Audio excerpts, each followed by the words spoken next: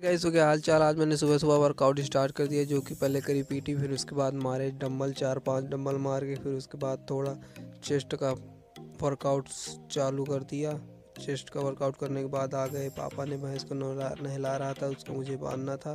नहलाने के बाद इसने नाटक शुरू कर दिया, अपना नाटक शुरू करने के बाद दूसरी भैंस का नंबर था। इसको आते ही नाम नहाने लगी। नहाने का तरीका थोड़ा कैजुअल है गाइस आप समझ सकते हैं।